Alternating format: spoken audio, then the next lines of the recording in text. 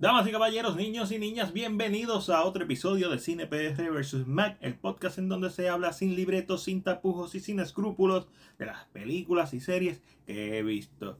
Hoy vamos a estar dedicándole este episodio a dos películas del legendario Akira Kurosawa. Me refiero a Yojimbo y Sanjuro. Y yo creo que esta es la primera vez que hablo formalmente de una película de Akira Kurosawa. Sí, he mencionado en otros episodios que vi Ikiru por primera vez este año. Ya yo había visto Seven Samurai, Rashomon, Straight Dogs, Drunken Angel, Throne of Blood y High and Low, pero nunca he reseñado algo de él. Y estoy loco por hacerlo, ya que estos podcasts no son reseñas como tal. Esto soy yo, sin libreto, hablando de la película y de lo que siento, o la serie, y de lo que siento. Y estoy loco por eventualmente empezar a hablar de Akira Kurosawa de una manera más formal que en el podcast. Pero, según mi listado de Letterboxd, he visto 9 de las 31 películas que Kurosawa Akira-san hizo en su lustrosa carrera.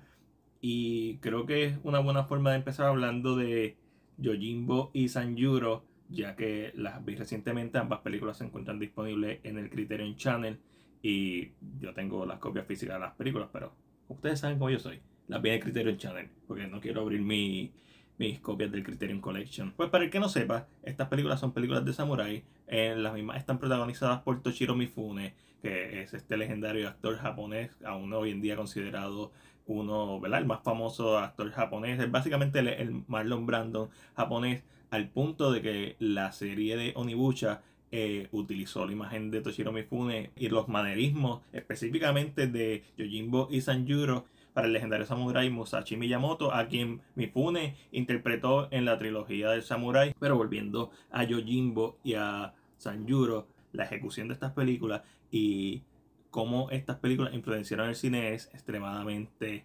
curioso y extremadamente interesante. Esta primera película trata sobre este samurái que está ¿verdad? caminando sin rumbo, un running, básicamente un vagabundo porque no tiene a un dueño y por cosas del destino eh, tira, está en, en, una Y, está en un camino con, ¿verdad? con dos rutas, tira un palo al aire y el palo cae hacia una dirección y sigue esa dirección en donde el destino lo pone en este pueblito eh, abandonado, donde lo primero que vemos es a un perro caminando con la mano de alguien, ¿verdad? La mano cortada de alguien, lo cual eh, en Furiosa Saga hacen como un homenaje a esto en una escena. Y pues lo que pasa en este pueblito es que hay una guerra de poder entre dos gangas de Yakuza, las cuales se están enfrentando. Cuando la vi pensaba que una era el gobierno y otra era eh, un casino, pero aparentemente son dos, ¿verdad? dos clanes de Yakuza. Esta historia trata sobre corrupción y este personaje sin nombre, este samurai sin nombre,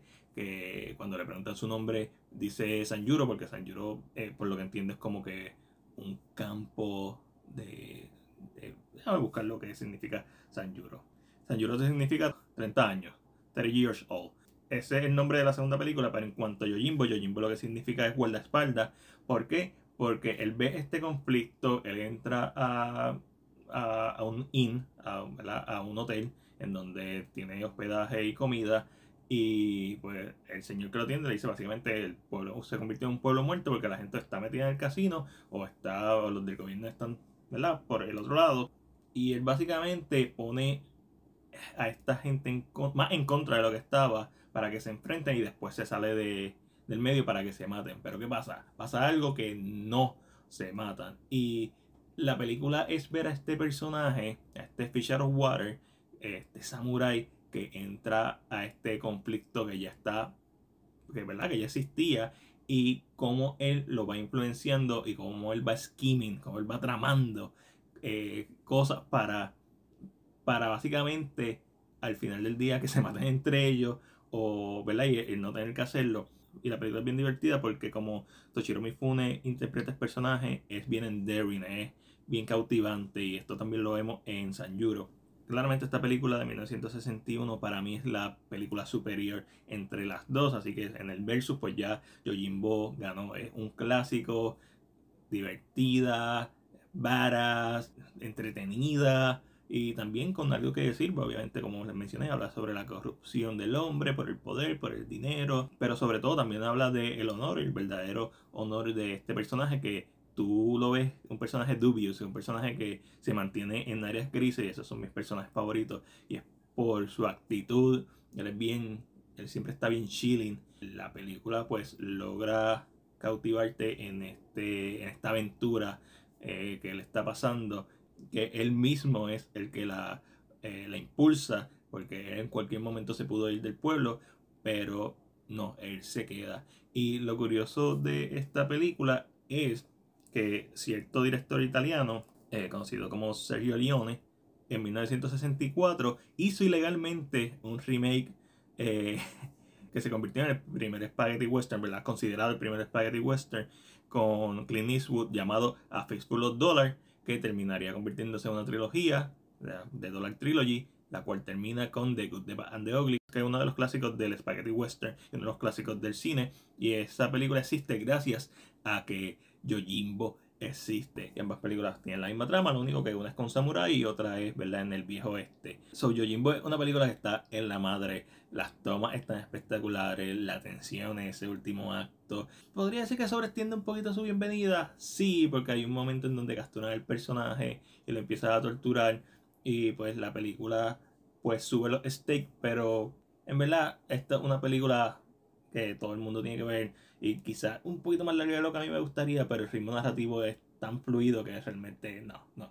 Eh, es un peliculón cuando le está viendo a, a las gangas a punto de enfrentarse y está en la torre, básicamente riéndose de los dos grupos porque ya están frente a frente, ya tienen que pelear por esta versión distorsionada del honor y es súper interesante ver esta película y como les dije, estoy loco por formalmente reseñarla. Estoy, estoy aquí sentado, sin ningún tipo de libreto. Así que con eso paso a San Yuro. La secuela, hecha un año después. Ese fue el primer red flag. Porque normalmente eh, estas películas cuando las hacen un año después no tienen el mismo peso. No tienen, eh, por lo menos para mí. Lo mismo pasa con Lady Snowblood. Que la primera película para mí está espectacular y la segunda tiene sus cositas pero se queda corta. Cuando llegamos a San Yuro de 1962, esta vez el título, ¿verdad? El nombre que el personaje se autopuso en, en Yojimbo. Esta película, cuando empezó, pues básicamente empezó de la misma forma que Yojimbo, en el sentido de que este personaje entra a un conflicto ya existente. En la película empieza con este grupo de personas, están en como un shrine, es un grupo de nueve samuráis que son rodeados por un montón de, de samuráis. Y nuevamente una película que trata sobre la corrupción. lo que pasa aquí es que este grupo de nueve samuráis se tiene que enfrentar a estos cientos de samuráis. Pero los del gobierno piensan que el grupo de nueve samuráis son muchos más. Piensan que esto va a ser una guerra entre cientos y cientos de samuráis cuando este clan es bien pequeño, solamente hay nueve. Así que Sanjuro entra en el conflicto y ayuda a estos samuráis a que los otros sigan pensando que son muchos. Y aquí vemos cómo al principio desconfían de él, a pesar de que los miran como samurái y sus habilidades, ¿verdad? Con la espada, pero no confían en, sus tácticas y en su experiencia sobre todo. Y a lo largo de la película él va demostrando, ¿verdad? Que él siempre está un paso adelante, no tan solo de los malos, también de los buenos. Y muchas veces los buenos se ponen en peligro por no escucharlo a él. pero ¿qué pasa? Esta película es una comedia Sanjuro es una comedia y eso es algo que no me esperaba después de ver Yojimbo, porque Yojimbo tiene humor, pero no es una comedia. Sanjuro casi una parodia de Yojimbo. Y eso me sacó de, del juego, básicamente, mientras la veía. Pero mientras va pasando la película y más voy aceptando la película por lo que es, puedo decir que también me gusta y que la voy a volver a ver y que en un futuro espero también reseñarla porque son ambas películas muy buenas. Quizás lo más frustrante de Sanjuro y Yojimbo es que no hay una tercera parte. con Toshiro Mifune y Kurosawa haciendo un cierre de esta trilogía, porque no existe la trilogía, una duología, solamente son dos películas y eso me molesta porque quiero ver más de estos personajes, es divertido y, quizás pudiste haberle hecho un plagio de A Good and the Ugly, que fuera algo más eh, sutil para entonces cerrar estas historias como una trilogía. Esa es la única parte frustrante y en mi mente está todo el tiempo corriendo después de ver ambas películas como que, déjalo, cómo sería una tercera parte y específicamente en el escenario que puso una tercera parte que tomara prestada influencias de A Few Dollars More y de The Good, and the Ugly como, como una respuesta al plagio originalmente hecho por Sergio Leone en A Fistful of Dollars y mi mente no para de, de, pensar en eso pero fuera de ese viaje Sanjuro es una película cómica eh, y eso le resta un poco porque se queda a las sombras de Yojimbo. Pero una vez tú aceptas lo que es, no deja de ser una película divertida, una película que innegablemente tiene temas y esto explota en todo su esplendor en su último acto, específicamente en sus últimos 10 minutos. Está esta escena icónica de Sanjuro enfrentándose a este otro samurái y la tensión es palpable y la ejecución y los diálogos y al final vemos una cara de protagonista que nunca habíamos visto y cómo, ¿verdad?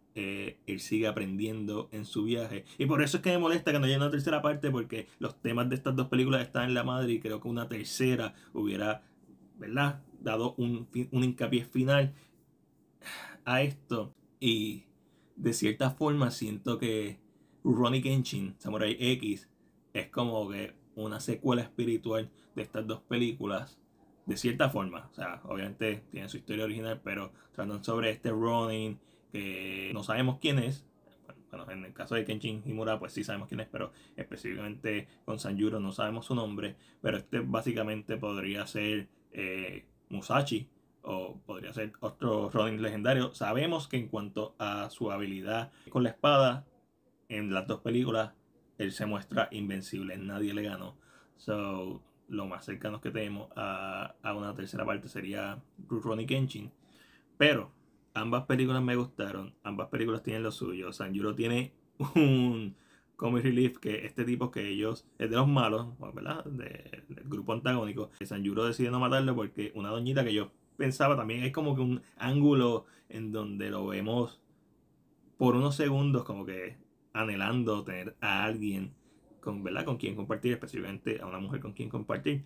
Y esta doña, que es la esposa del líder de este clan que está secuestrado, él decide no matarle porque la señora dice que no lo maten y Sanjuro empieza a no cuestionarse, pero sí a reevaluar lo que él hace, el uso de la espada, cuántas personas él ha matado. Y quizás vemos un resentimiento o quizás vemos una madurez en el personaje en donde él ya no quiere hacer esto, aunque todavía se divierte haciéndolo, aunque todavía le entretiene, más que divertirse, le entretiene hacerlo y le entretiene hacerlo del lado que él piensa que es el bueno. Lo vemos como un personaje, o como un antídoto a la corrupción, un antídoto violento, un antídoto, ¿verdad? Que puede ser violento, pero un antídoto al final del día.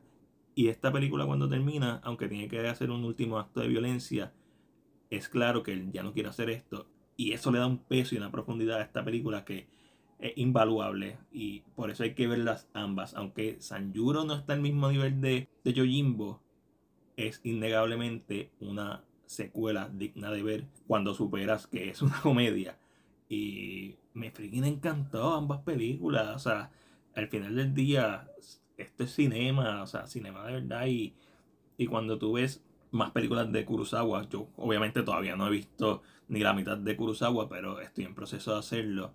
Durante los últimos años he poco a poco ido grinding, ¿verdad? Viendo este, sus películas porque me interesa verlas todas, me interesa reseñar por lo menos las más icónicas y quizás mis favoritas de él, pero es tan acelerante ver buen cine, y no solamente me refiero a, a Kurosawa, buen cine de cualquier lugar, ya sea Osu con Toki Story o ya sea, ¿verdad? Los que hicieron Powell, que hizo Pimentón, The Red Shoes y Black Narcissus, o el Casablanca. En este viaje de ver cine y de hablar más de este tipo de cine y no tan solo de eso, también de cortometraje, mientras más cine veo, más sé que, que menos sé de cine y más aprecio los clásicos. Y no estoy diciendo que las películas nuevas sean malas, pero a veces son bien superficiales. Y ese yo creo que es el mayor problema con el cine moderno y con el público moderno, que es bien superficial, es bien básico. Y no hay nada de malo con eso. Yo disfruto de mis películas básicas y superficiales como cualquier otra persona. Pero si tú quieres hablar de cine a un nivel más profundo, y cuando digo más profundo, no estoy diciendo ni más intelectual, es más hasta cierto punto emocional, te toca ver más cine. De todo tipo, no tiene que ser de solamente un género, de todo tipo de cine. Y para mí, eso como crítico de cine por los pasados 11 o 12 años, esas son las personas que yo respeto. No la persona que solamente ve lo que sale en el cine y quiere hablar y habla de eso porque es popular. Cool, eso lo hace cualquiera, eso, es lo que hace todo el mundo. Si la persona que, que ve cine y lo consume y lo aprecia como un arte y mientras más profundo te metas en eso, más puedes educar a la gente en, tu, en la forma en que te expresas sobre el cine. La gente puede verlo más como lo que es, que es una forma en donde se explora temas y aspectos de nuestra humanidad, en donde al final del día podemos sacarle algo y reevaluar nuestra propia ¿verdad? humanidad y hacernos sentir algo. So, como siempre digo, el cine es un arte bien hermoso, es la culminación de todos los artes y es la culminación moderna de todos ellos y Yojimbo y Sanjuro y en general Akira Kurosawa en base a lo que he visto es un maestro en esto, básicamente él el director favorito del director favorito de tu director favorito. Es un director que sin lugar a duda su existencia cambió el cine. Así de sencillo. Pero esa es solamente mi opinión. Ahora déjame saber la tuya en la sección de comentarios. Como siempre, si te gusta este video, dale like y compártelo. Recuerda suscribirte a nuestro canal de YouTube y darle a la campana de notificaciones para que no te pierdas nuestro contenido. Este fue Mac de CinePR y será hasta la próxima. Thank you.